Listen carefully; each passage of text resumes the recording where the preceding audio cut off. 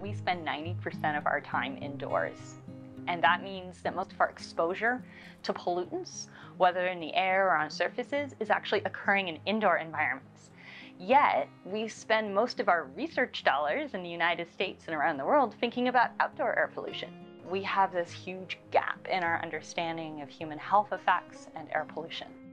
So the chemical assessment of surfaces and air, the CASA study, was designed to think about the chemistry of the indoor environment and how that chemistry changes when we experience outdoor air pollution coming indoors or when we see changes in the indoor environment.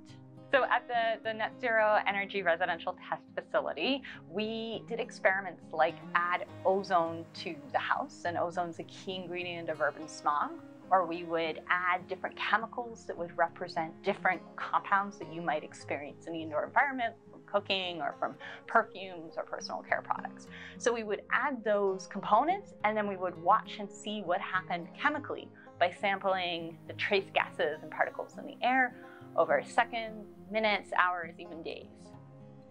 We found that uh, when you add smoke into a home, wildfire smoke, it's going to permeate. It's going to sit on the surfaces and it's going to bury itself into all of the paint and all of the other surfaces. And then it's going to slowly, over days, start to desorb and come back out to the air.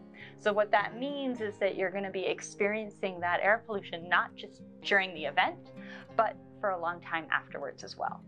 So at CASA, we spent some time studying how different air cleaners work, how surface cleaning impacts indoor air. And so we wanted to understand how people can make choices and buy products that are more effective for cleaning their indoor environment.